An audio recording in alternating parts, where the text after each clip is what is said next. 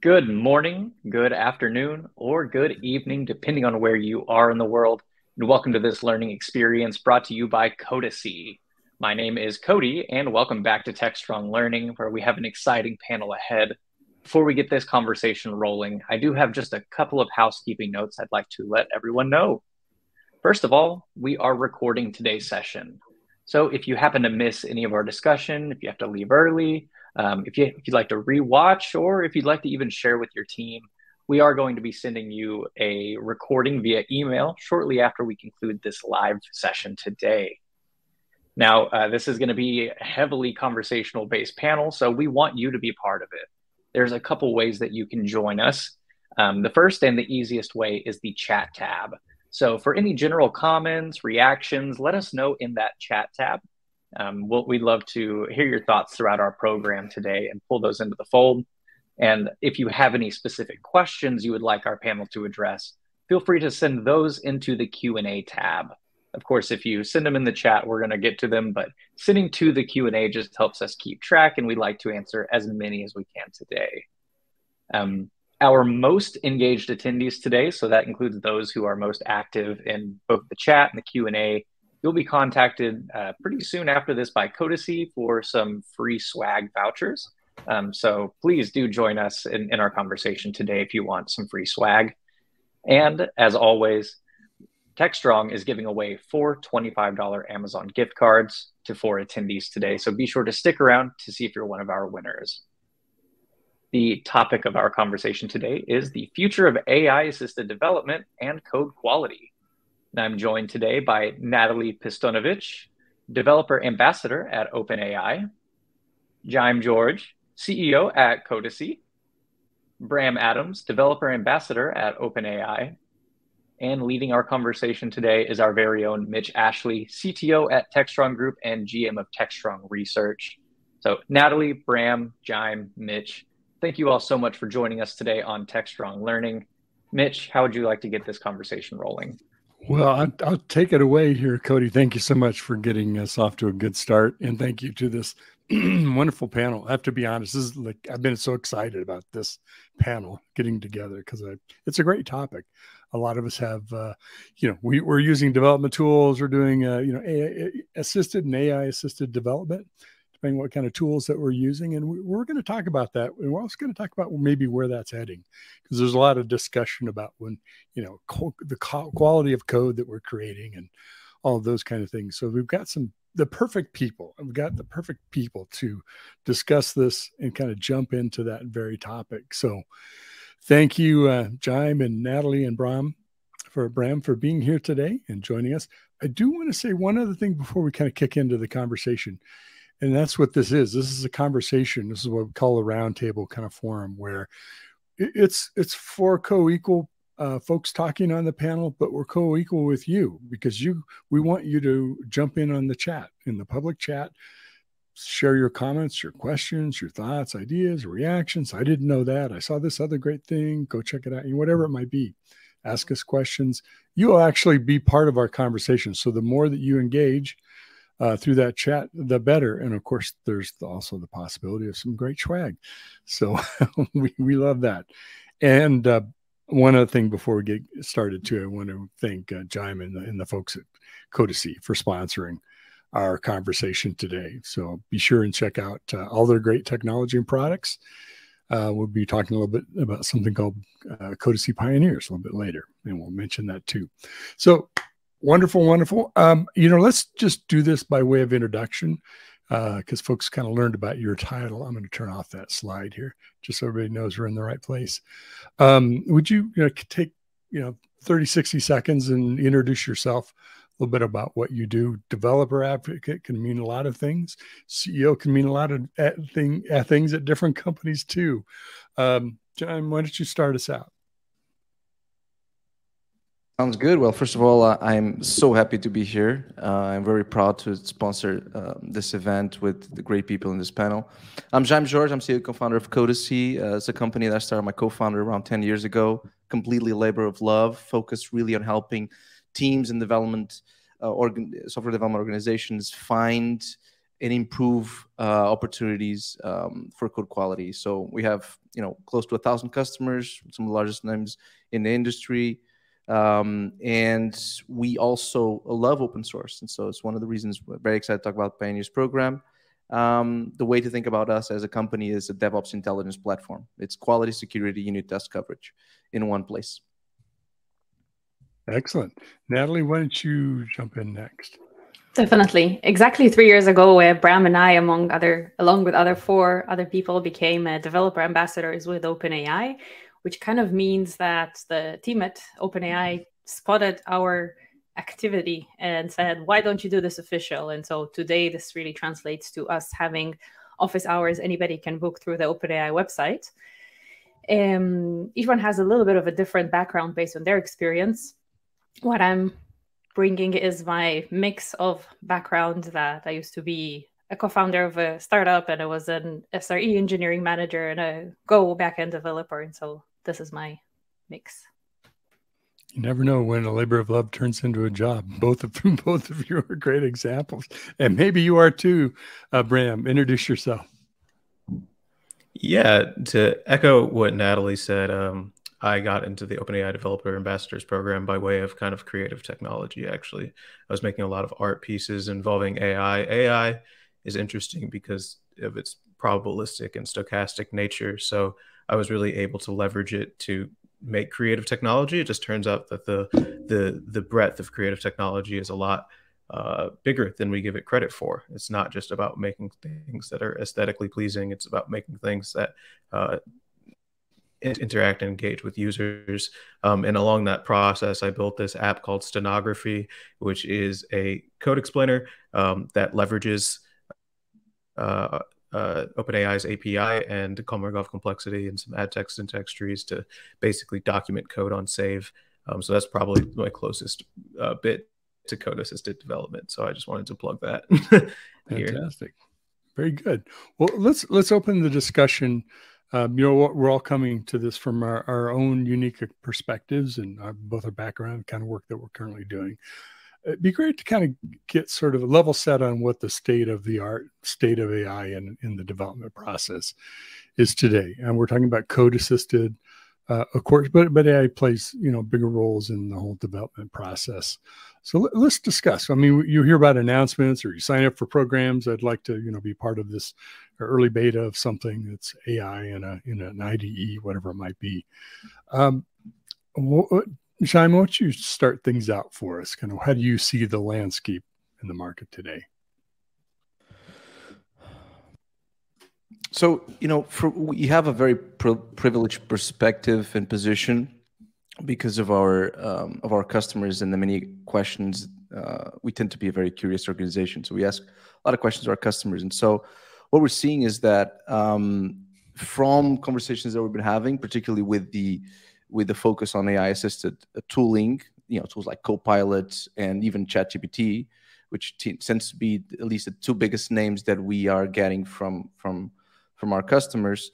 The adoption seems fairly interesting. We see two groups: people that are starting to use it occasionally, but in a in a kind of uh, more frequent manner over time, and then we have people that you know sometimes will oppose or not just adopt. And and what we're also seeing from from companies that is that most companies that we have as customers that we're talking are still deciding you know are still defining their policies of whether they're, they're looking to make decisions on their official stance on AI tooling. And many times this will create an opportunity for developers to start just using um, AI tools. Uh, we're also being very positively surprised that it's being encouraged in small, medium, and large organizations. And so it's here to stay and it's a huge wave. Definitely one of the most exciting advents in my life as a technical uh, person. Okay, we need the open AI perspective too. I'm sure you talked to a lot of people about should we be using this? How should we be using it? What what what should we be doing? So, um, Bram, why don't you start us out? Sure. I guess you know, for me, over the past couple years, especially when Copilot was just first coming out in alpha and Codex had just come out, and people were kind of interested in seeing, you know, what were the limitations of these models in terms of writing valid code. Uh, it's interesting because you know because of how fast compilers are in general at catching errors. I felt that even early on, the hallucination problem was really heavily. Uh, maybe not not not as heavily taxing as it is in the space of just pure human communication of writing because you could literally tell okay the code's not going to compile. Um, so since then i think people have kind of taken a lot of creative leaps to kind of really focus in on the ux of ai assisted development and kind of like making these tools fit into the programmer workflow while also being able to uh, take advantage of the fact that these models can generate uh, code that will be able to save people a bunch of time. And I think specifically where I've seen the most lift for people is kind of uh, getting from zero to one in terms of trying a lot of things out with their code. So it's not necessarily about the already kind of written code that you're trying to put to production from development. It's more about how can I even get started writing this? Uh, and ChatGPT and Copilot and tools et al. are really good at allowing you to kind of just say, what would this even look like in code? Like, give me a bride, or excuse me, a wide overview of, of what I'm looking to do here. And of course, Natalie. And I'll add to that that uh, when last year uh, GPT-4 was announced in the demo, there was that uh, iconic part where uh, the there was a sketch of some website on a piece of paper, and then it took a picture of it, and then it just wrote the code for that. And as of this week, when the announcement was made that ChatGPT can also now see and you can also talk about images, uh, you can now actually do that. Uh, I'm posting in the chat two links. One is for this announcement, and the other one is some really cool video I saw on Twitter. Uh, I don't know the person, but he's pretty much showing how he's doing that, and that's a uh, like even a faster way of just uh, here's a picture, build me this. I I know this, but I don't know that part, and that really speaks to me because I'm I know my backend, I know my DevOps, I don't know my front end. Like if I have to build the, the facing the, the people facing part of this, I will get stuck there. And uh, having ChatGPT was already helpful, but having just here's a sketch, do everything, is one step even uh, faster, and it's it's really nice. That's an interesting use case too. Maybe you're like you're saying you're backend developer, and uh, I don't know Flask or whatever I should be using to do a, a UI for this. You know, help mm. me hmm. create one kind of guide me through the process. It, it seems like I'll throw this open to the group. You know, when something is um, impactful or people see it as impactful as generative AI, especially that will generate code. I mean, you can go to ChatGPT and say, "Write me a Python that does this," and it will provide something of whatever quality. I don't know. Um, but people kind of jump to the conclusion of, oh, well, that means we're not going to need developers. How long, you know, we don't need developers in a year or two or five from now. And then you hear kind of other people, I think a little bit more, not more, a little more sensical assessment of, well, this is actually going to accelerate and, and increase productivity of people building applications and code. And maybe we produce 10x code, you know, in the same group of people. I, I'm, I'm curious.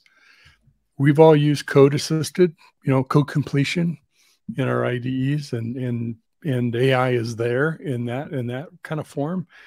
Um, how, how, can we use AI in our development right now? You think you should be at least piloting, if not using it today? Anybody can start. Um, I can say that while I am not employed by one company, but I'm advising to multiple different companies, I am very much using this regularly. Um, I see in the chat and I see in the Q and A that there's the point of uh, companies don't allow that IP and so on. Yeah, that's a that's a point. I think this used to be a bit more of a problem in the past. And I think now, with this being more um, compliant with all the different GDPR requirements and also the solutions like the ones that are called enterprise and so on, so they kind of handle this part. Um, I feel that this was, from what I experienced, the biggest problem in actually uh, using and adopting this. Because on the technical side of how and how much does this help, I I did not meet one person who really said that uh, the advantages are uh, not like that the disadvantages outnumber. Everybody had the general idea that yeah it can have some loops but overall it really increases and helps the productivity in whatever level you feel comfortable doing it. Um, maybe i'll jump in. Um, i think as you started your, your your question mitch i think this is a great example of Jevons paradox, in which more um, as we scale more efficiency, I think we'll also scale more consumption and more software will be produced. So I think we'll have actually more work for developers um, in the very near future, which is very exciting. Um, my, I think this is a tool and this is a technology that needs to be adopted because the productivity gains are so massive that is there's not a question of if, it's how for many companies. I think there needs to be a quick awareness also of potential risks. I think that's a must also. Things like a false sense of outsourcing. We're not outsourcing our fully intelligence and business requirements of applications.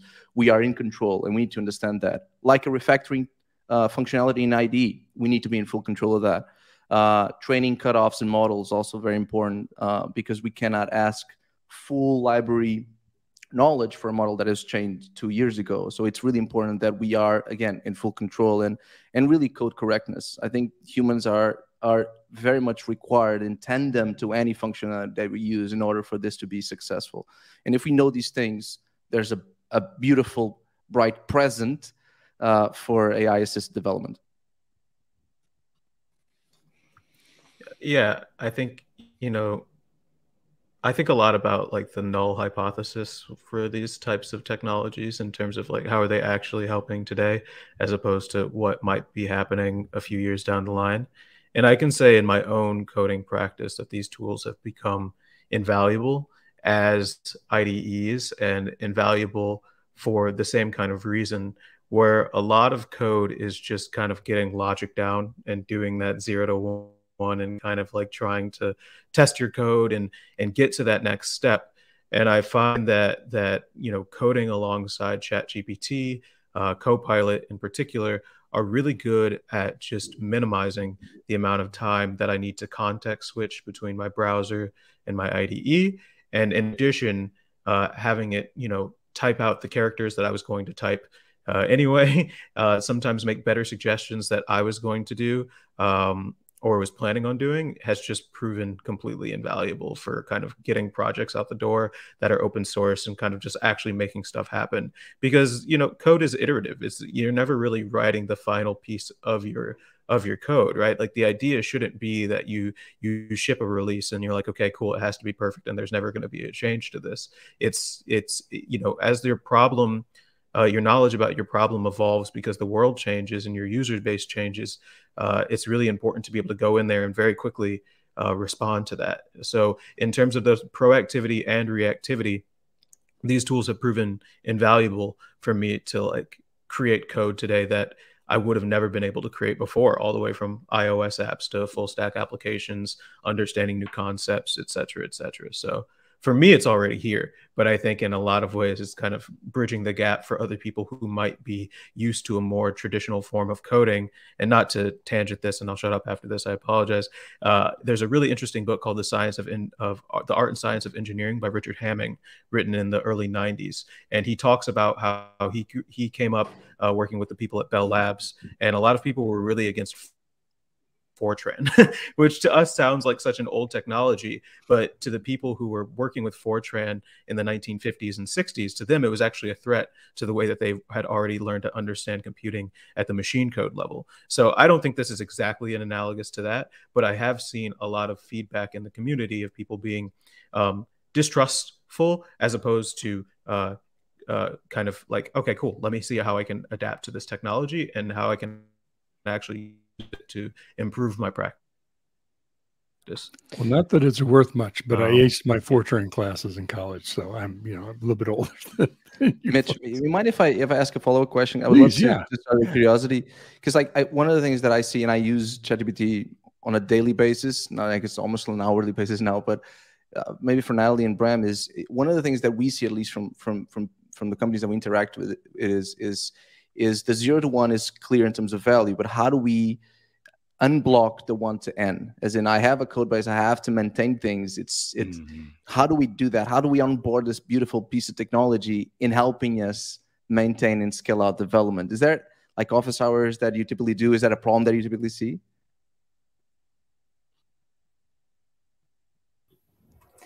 um your question is how to like what are some good practices on scaling an existing app like a step one, stage one app to multiple users, basically. Like you're asking about ML ops.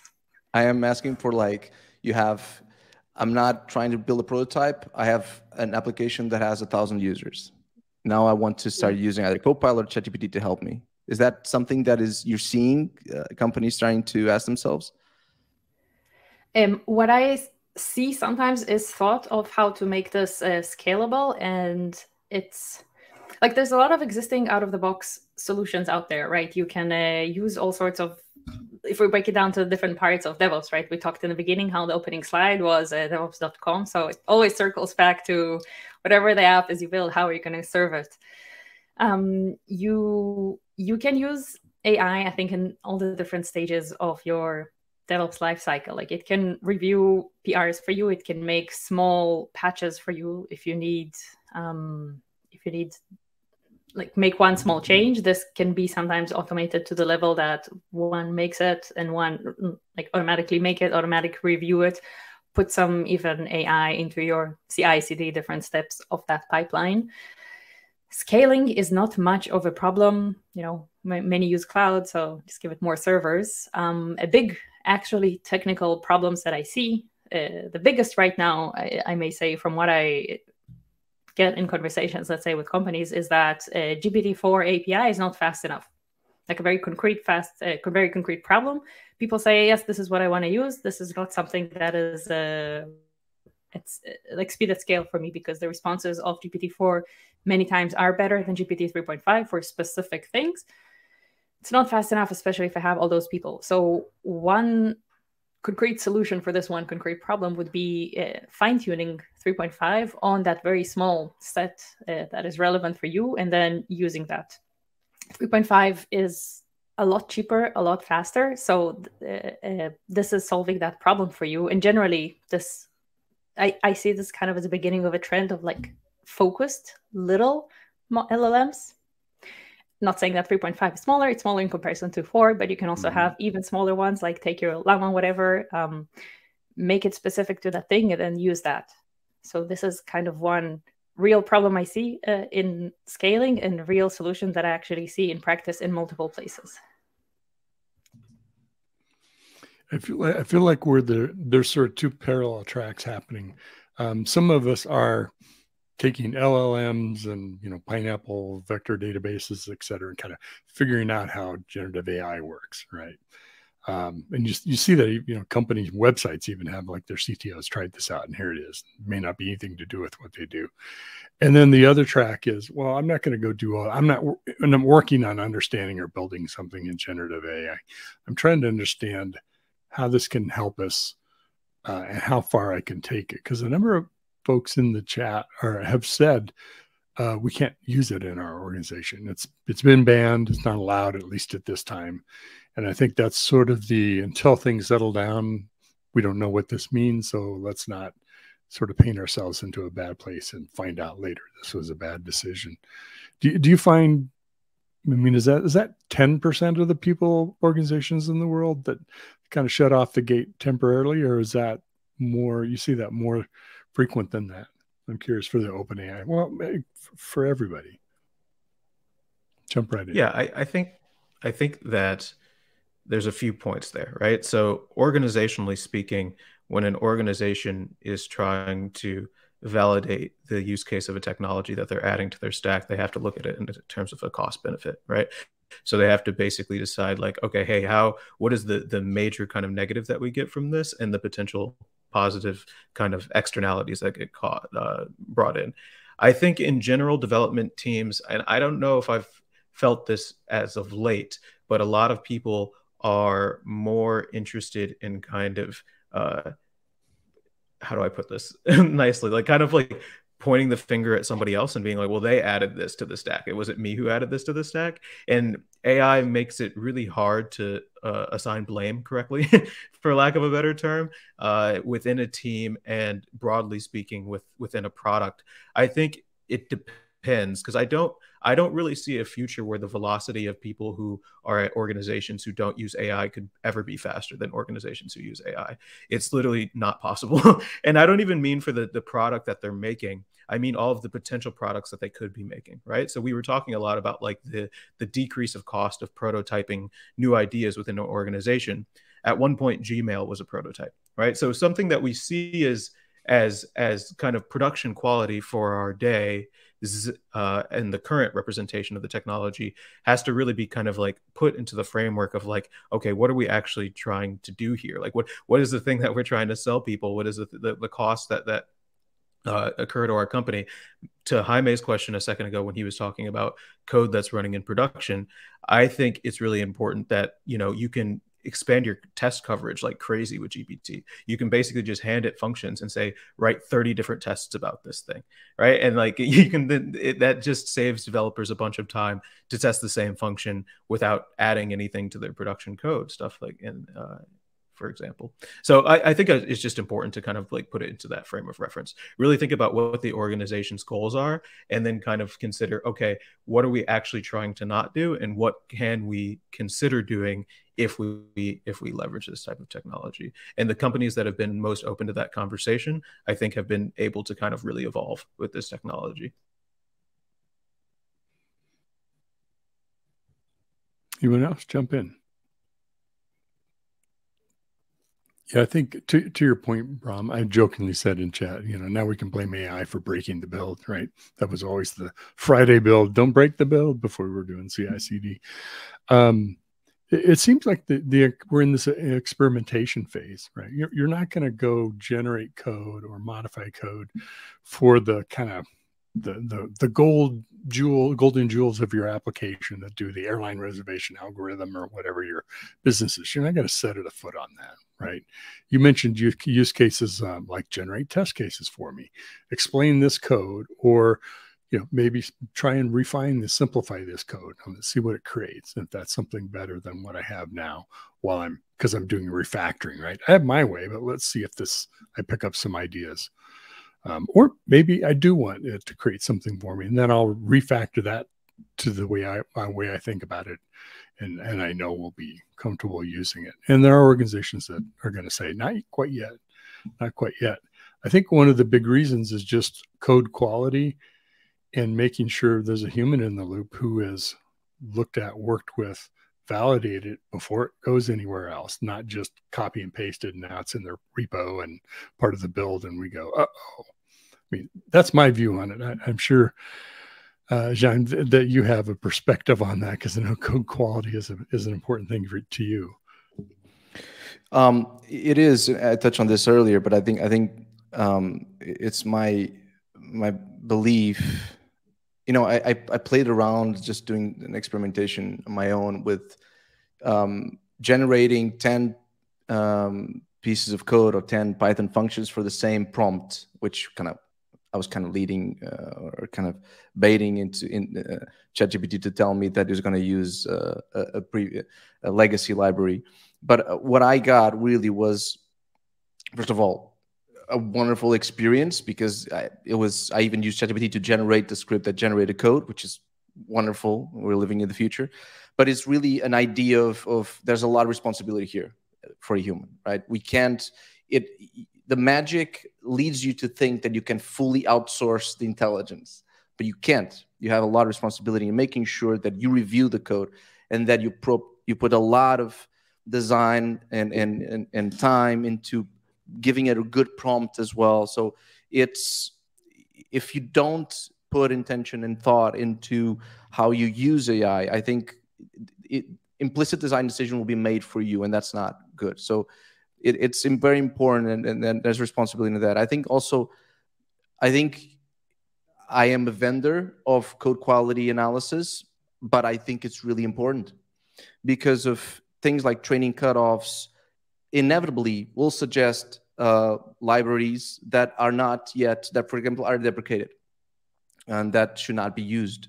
And so from that perspective, I think it's really important also to make sure that in order to scale this out and to have more companies use this, and we're seeing even right now in our public, in, in, in the questions that people are asking, like, how do I get the company to adopt this?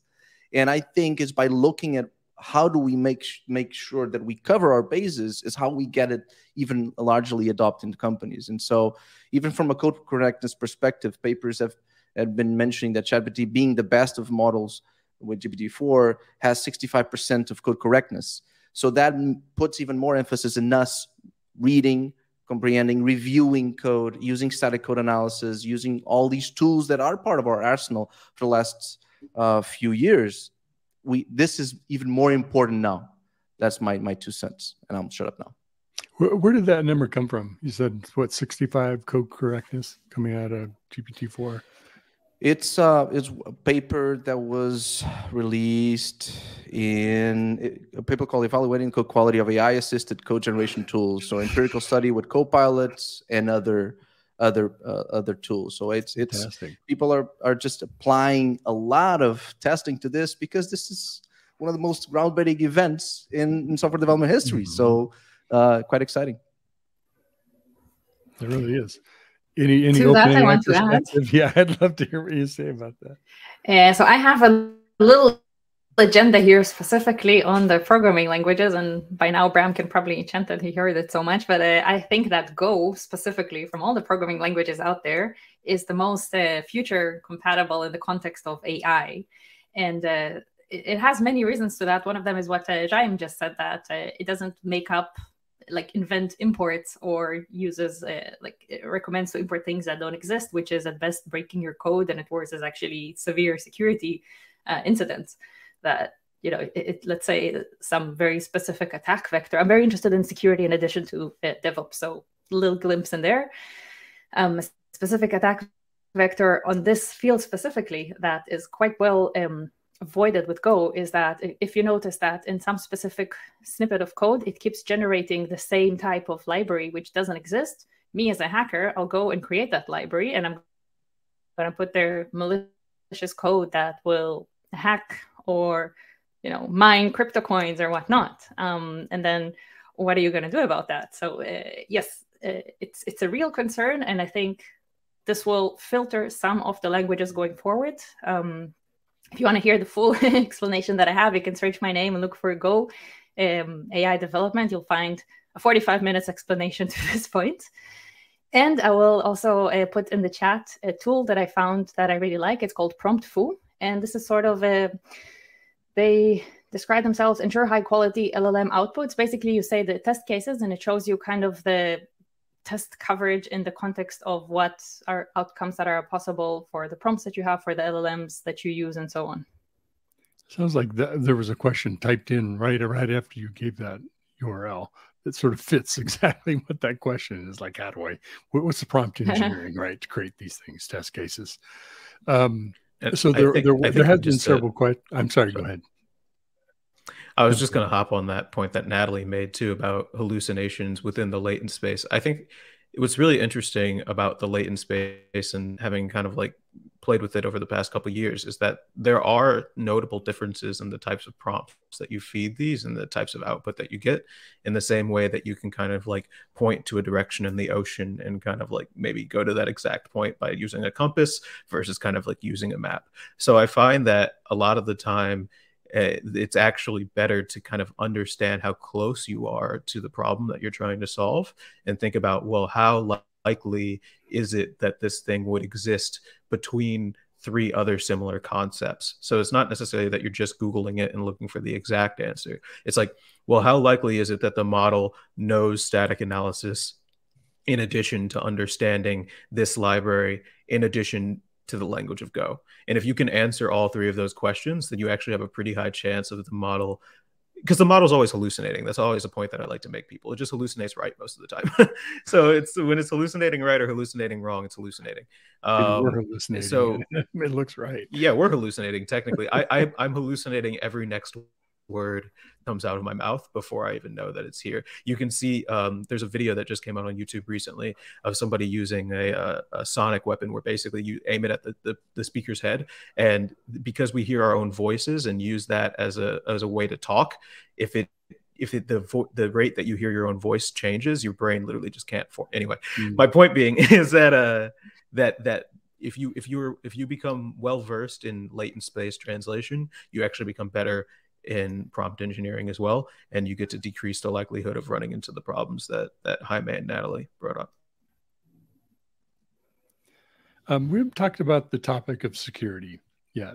You know, the safety, the security of any code that we're using, either AI assisted or generated, for that matter. Um, it, it's it's a bigger topic, right? As developers, we're not always security experts, and at least in every aspect of security you need to deploy deploy application safety. Is AI assisted potentially a way of improving security of what we're creating? I mean, couldn't we have LLMs that are specialized in, you know, uh, helping you write code that isn't got built-in vulnerabilities or less liable to be hacked? Is that an area of specialization you think we'll see? I think LLM security is a big issue. Uh, it's a podcast I've been doing with a friend since May. That's very close to my heart personally. Uh, this is also a program that OpenAI has been putting a lot of, uh, focus onto. Uh, they have two blog posts about that on the website. One that they have a grant program for different uh, focus fields on defensive AI, defensive security. I'll put both links later. And the second one is that they're gearing up a red teaming right now. I'll put that link as well. And yeah, uh, there's lots of security issues around AI. I think the very first article I saw about that came already at GPT three times in the December 2020 that it was analyzing uh, for three languages Python, Java, and C, I want to say, how many of the uh, completions that it made were secure versus not secure, like had uh, known violations and so on. And um, lots of ways of interpreting that. I, I take this back to the point that some languages are better for this AI revolution because the code that they generate is just trained uh, on less bad practice code, right? Python has been around long enough um, to have all sorts of code base lying around the internet that has uh, best just bad practices, but also like straight ahead um, malicious code and whatnot, or just libraries that are bad. And some newer languages just have less of that. Uh, but yeah, very security is just going to the next level with AI. So more for the uh, defensive hackers and more for the offensive hackers? Um, I I don't have a lot to add to to to to what Nelly just said. I think you know from from from conversations I've been having with customers, we estimate around fifty percent of the biggest worries or risks that that our uh, customers are seeing is good quality and security. You know, it, it's the only thing above that is kind of the data privacy and protection. That's that's how people are are, are perceiving these these these risks. And so, um, you know, beyond the things that we already mentioned, um, I think having um, a clear idea that libraries need to be maintained, having other tools to check um, how we're producing code will be tremendously helpful. Um, and I am also a true believer that not only this is, I mean, just the sheer amount of code that will be produced, I think that just also you know, going to be a security risk because it's going to be more surface area for problems to be found. Um, I think also this will be a huge part of the solution as well. So I can't wait to see the future models, um, you know, models that are going to be trained just specifically to find issues and vulnerabilities ahead of time. Um, probably even monitoring stack logs and finding uh, issues in real time. So I think um, it's both a problem and a solution. And like with that immaturity of any other piece of technology, it takes time. So it's it's normal. I, I don't think it necessarily needs to affect adoption at scale for organizations um, as long as the processes and tools are there to protect a company, right? So um, that's what I would add. Jaime, I very much agree with you. Uh, there's more there's also a lot more work done in specifically the last thing that you said that tools to protect the company like i see in the office hours too some companies that have recognized specific new challenges and are working on solving that um, and that's very interesting there's also some companies a little bit of deviation but still back to the office hours uh, uh some companies that uh, speak kind of legal tech, if that makes sense. They specifically try to solve the problem of IP and so on. And uh, this is, I know, not the focus here and not uh, something that is solved generally as a problem, but there are some tools that are working to find a way of of um, correctly tracking back if that makes sense kind of the origins of some creation and seeing how can they reward the um, creator of that. So there's a one i've been mentoring recently at some accelerator that's specific to ai startups and one of the products there was a company that they an artist can upload their style and then people can go and generate art that they like in that style with their personal touch and paying uh, royalties or some variation of, of payment for the uh, artist. Let, let's let's kind of roll forward. I mean, our crystal balls or you know magic eight balls, whatever it is. You know, there, there's no wrong answer because because the future is not here yet. Um, but let, let's say we we cross whatever this tipping point is from experimentation. Don't trust it fully yet you know we're we're finding out what it what AI assisted and AI generated code is best at and usable. The technology improves, but we, we sort of cross over that that fulcrum. Um, what is what does our software development lifecycle look like when we're we are at a place where this is just a this is a companion tool, right? This is something we do use every day. Um, so shake up the globe, you know, kind of see where the snowflakes land Anybody want to jump on that one first? Again, you can't be wrong because future's not here yet. We don't know. I think it'll probably be something akin to kind of a re a re kind of like mainstreamifying of scripts as opposed to mega apps. I think if we kind of like look at what computation has been over the past 80 years, we kind of started with computers being very limited to ballistics research in World War II. And then people started doing symbolic computing and moving it into little, like more, um, trying it in a few more like kind of areas in terms of like dealing with kind of user locations and stuff like that. I know that one of the first companies that ever actually bought a computer, like private companies, was actually a cupcake company in uh, London because they were trying to figure out how they could get cupcakes and baked baked goods to places without it going bad. Um, so that was one of the first companies in the world that used computers. I think that you know what we saw with like kind of web 1 and web 2 is that a lot of people were like i don't know how to solve this problem so i need an approximation and i want one at scale and so we got like 15 companies that like built every kind of at scale common use case problem, which is kind of like all the social media companies. And this is how I built my website companies. And this is yada, yada, yada. But people have very specific problems to them. And I think that that you can kind of see that at like the kind of doctor lawyer level where people will go and say like, Hey, I know that there's a set of laws that exist in my country, but I need you to like coerce them into my specific case right now. Um, so I think that with these kind of like AI assisted development tools, we're going to get a lot more people who aren't necessarily traditional developers uh, being able to map out their particular problem in a way that they can get a n equals one solution and I think that that's going to be a lot more common. So we're going to see a lot more people running apps on their phone that no other people have.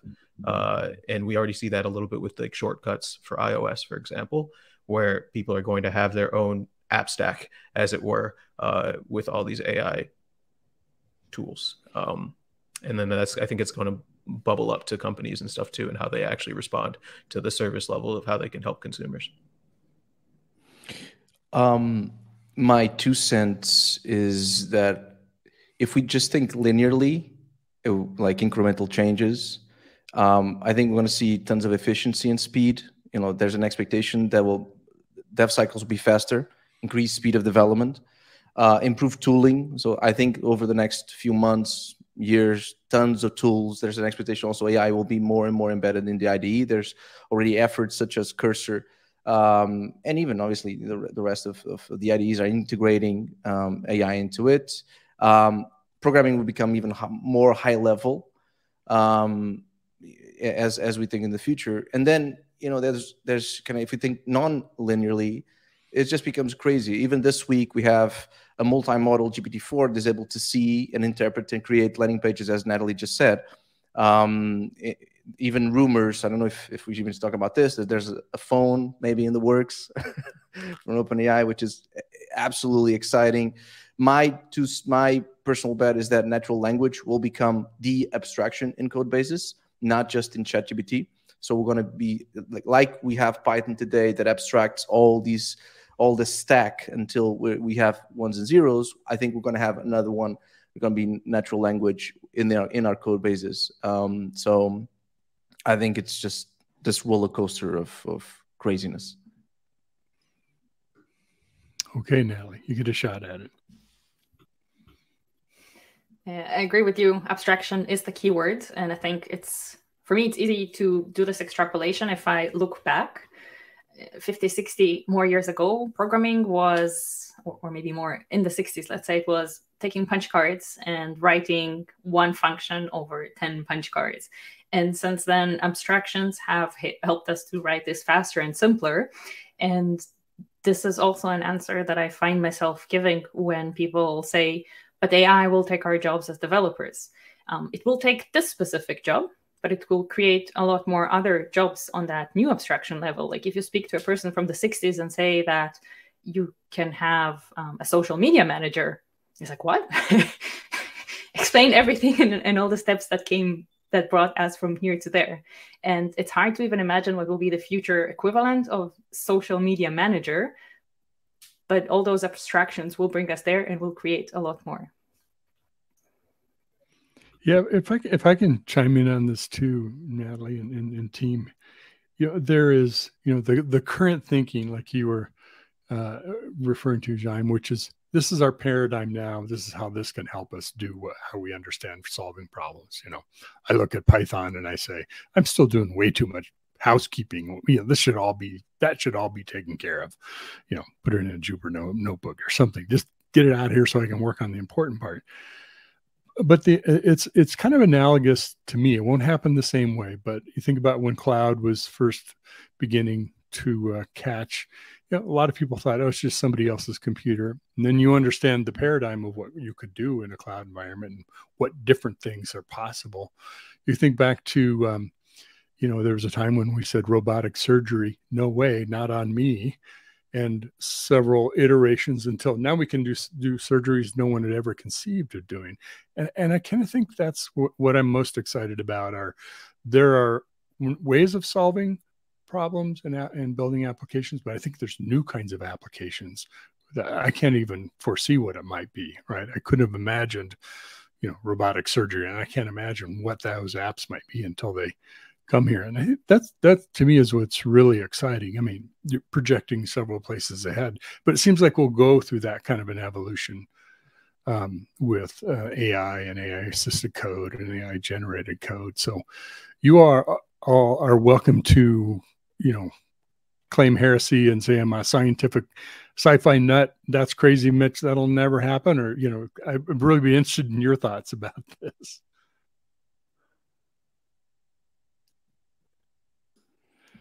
Nobody's gonna, um, nobody's gonna take I, me on, on in front of people. no, just kidding. No, I, I, I think, I think adding your point into kind of also Natalie's one of the things that, that for me has been quite exciting as well is, is, is how do we think about the future also of the profession of development like mm-hmm. how do mm-hmm. we think about the role of a developer and as i mentioned before i think i think the world is so permeable to more software that i don't i, I think more we're going to have even more developers because of ai that's my 2 mm-hmm. cents maybe doing different things but like we're all not coding you know all respect for fortran or fortran anymore with coding in other programming languages and I one of the things that I've been seeing obviously is the last two years is the sentiment of developers. So I actually took 10 random, not fully random, so it's not a statistical analysis. I took 10 random posts about Copilot from Hacker News, tends to be sometimes a difficult place for comments. So it's not the, the kindest of places. But I took and I did sentiment analysis on them. And it seems over time that actually there's a positive sentiment over time being built. There's more confidence being built in tools like Copilot and ChatGPT, uh, as well as negative sentiment being decreased over time. So I think that's also important as we think about um, the future of our profession uh, as, as software developers. Um, and for me, that's also kind of exciting. Yeah, we couldn't have imagined we'd be here. five years ago, right? Whatever time frame. Look at look at where we are. Um, I want to take just a little bit of a detour. I know that um, is hosting um, a, a Pioneers event. You want to say a little bit about that? We've got a link to that in the uh, handouts. I'm just saying, having come off of an AI hackathon that we hosted ourselves, these kind of things are a blast.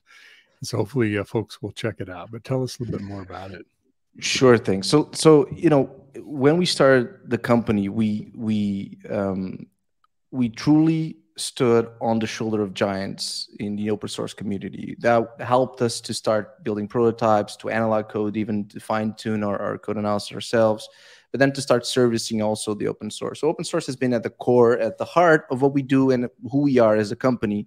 Um, and even more so is what we believe will continue to be important going forward into the future. And so internally, we created an initiative that um, sponsors great software projects that are open source. And we do that not only through um, some cash, uh, obviously that, that can be helpful for, for, for, for, for creators to focus on their creations, but also through great mentorship. So we have people that have, you know, are at the forefront of software development that have been absolutely impactful, such as one of the co-founders of Prisma, the creator of Vue.js. We have people that are absolutely uh, impactful in their own communities as well, um, from from from different uh, countries and, and, geographies. So we're, we we we're really proud, and we we have a record-breaking uh, number of applications. So for us, Codacy Pioneers is uh, again the continuation of the labor of love. It's us giving back and we want to sponsor and help people create beautiful software, not just AI related, just po net positive to the world and and community. So that's that's what Codacy Pioneers is all about. We haven't yet finished the deadline for applications. So if you have an application, you have an open source project, please, please apply. We're reviewing them. We have uh, we're humbled by adoption so far. So that's that's what this is all about. Thank you for asking. Yeah, you bet. I'll, I'll put the the URL in in uh, in our chat. It's just codacy.com slash pioneers. So thanks for making that simple, easy.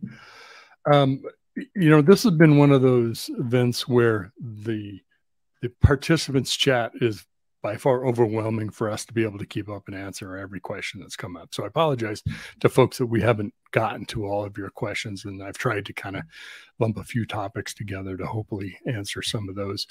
Um, uh, Bram and, and Natalie, there's a lot of questions about how do I get started? What should I be using to kind of kick off my learning? I, I see that repeatedly in the chat. And, and, imagine that you get those questions too in your ambassador kind of roles. Do you want to recommend some places to, to, to advance your learning and maybe gain the benefit of your experience of gone through that learning cycle? Depends a lot on what uh, what is your background, what is your level. Um, uh, as as in the ambassadors page, we each one write a little bit about my our background. I, I get the more boring questions. I think Bram as the creative technologies get the really cool ones. So he will say for the people who have this crazy vision and how they go about implementing it. Um, but for the boring people like myself who are like, I know how to code, I know how to do maybe backend, I don't have anything crazy. I just want to optimize this API, then I'm using something along those lines. I pasted the link to the OpenAI cookbook, which is a repo with many examples. That is a um, the the developer advocate uh, Logan at OpenAI. He's uh, the bigger maintainer here, and there's lots of code contributions, really interesting examples, different languages. Uh, I think that's a very good starting point specifically for those who want to do uh, some prompt engineering 101 there's a great course by andrew ng and a developer from OpenAI, I forgot her name. I will paste that link as well. This is from the deep learning platform, and this is free and open for everyone. So I would recommend those two sources. Both of them I'll put in the chat. I don't know if anybody who's watching the recording will have access to all those links. Do you put them also? Um, that's a good question for Cody. He'll know, he'll know the answer to that. He's the master magician on All that right. part of this. Good. Um, I think those those are great resources. In addition to that, I mean, this is going to sound a little trite or whatever, but I, as I mentioned a number of times through this conversation, I think really good prompt engineering is actually just really good understanding of your problem. So if you really want to get good at GPT, I would really recommend that you just journal more. it's just write more about what you're trying to accomplish, really understand what you're trying to solve for, and really understand how to break things down. And we've seen libraries like Chronology and LangChain uh, attempt to solve this problem where you can kind of like put prompts together. Um, but I think that the the overall kind of perspective is how close to your problem are you? How easily can you split it up into subproblems? Developers tend to be pretty good at this type of thing, so you shouldn't be too concerned about this. Um, and then turning it into a series of steps that you can uh, iterate on. So that's that's what I'd recommend is just breaking up pen and paper and just kind of journaling about what you what you want to do. I'm going to step in for a second to say the name of the other instructor in the course that I mentioned, because she definitely deserves the credit for all her work. Her name is Isa Fulford. I'm just typing this into chat. We've been doing prompt engineering for a long time, since the first web search engine, right? We all know how to construct, you know, how to ask Google to get what we're looking for, right? Sometimes better than others. And generative AI, it isn't the same prompting. I mean, if you try to do Google-ish kind of prompts in in uh, generative AI, probably not going to get the results you're looking for. But you learn right the right way to set up and ask the question. So don't be don't be intimidated by prompt prompt engineering. Just kind of learning how something works and get the responses from it you want. We're just about at the end of our time. Um, so how about lightning round? One minute uh, passing thought before we turn it over to Cody. By the way, when Cody comes on, it's always good because he's giving out money at the gift cards. So um, why don't you start it out, uh, Jaime? I'm sorry. It's completely fine. Um, look, I'm super happy to to be here with this amazing panel. Um, you know, when we when we kind of thought about the session, uh, our objective was really to have a great, frank conversation about um, AI and NI encoding, encoding and, and particularly code quality. And so we're we're seeing uh, front and center the impact, the very positive impact that um, AI is having in developing software. We want companies to be aware of how to do that responsibly with all the risks aware, and we're helping people do that. And so um, we believe and we see that that static code analysis is a great, you know, rule-based static analysis is a great complement to any AI tooling that you end up adopting. It gets you safe, gets you gets you there at the speed of AI. So that's that's what we see. Um, we're thrilled to count with our customers and see uh, their their evolution. Um, and yeah, we're we're we're spectators and happy to be part of the journey. And and if OpenAI wants to help or or, or can can can even help us improve code quality, would love to even talk more. So thanks everyone for having us. Great, Natalie, Bram, anything you want to add? Last thought. It's a fun ride. Um, enjoy it this entire AI thing. Excellent. Cody. I, I would say Dan, that I'm sorry. Code, I, oh, you, are going to go. Oh, no, it's fine. I don't I don't get a turn. It's cool. no, no, no. uh, I was just going to say most code hasn't been written yet. And I think that that's something that that is a is something that is important to realize is that code is still a very young thing. Uh, we've been coding for like 70 years, 80 years, if we want to call it punch cards or Fortran or wherever we wanted to start this conversation. So uh, just know that we're really at the beginning of all of it. Since Jacquard's loom, right? Babbage. Okay. Um, take it away, Cody. Bring us some good stuff. I have come with gifts. Mitch, Natalie, Jaime, and, and Bram, thank you all so much for joining us today. Um, this has been such a wonderful session, and the hours absolute, absolutely flown by. Um, I've got got 20 links over here on the left side of my screen that I'll be digging into as soon as I jump off. And all of those links have also been uploaded to the handout section. So before you leave, feel free to grab those, get those pulled up in an extra window. You will not want to miss out on those. Um, so once again, Natalie, Bram, Jaime, and Mitch, thank you.